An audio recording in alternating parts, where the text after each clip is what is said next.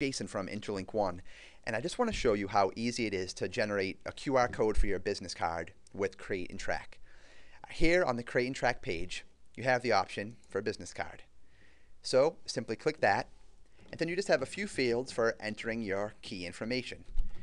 So I've got my name, company, email address. We've got the phone number here set up, in this case for the US format. And now my address.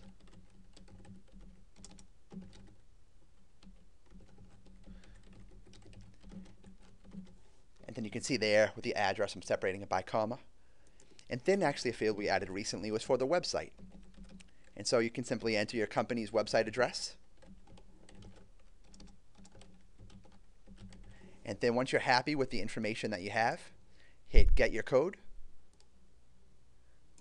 And here, within a second, the system generates the QR code for you. So if you're happy with the information that you put in, all you have to do is just download the high-res code. It's print ready, so you can start putting it on your business card. And that way, if people scan it, they'll be able to easily access, add your contact information, and access your website by just clicking a link. Thanks a lot. If you have any questions, just visit us at QReateAndTrack.com.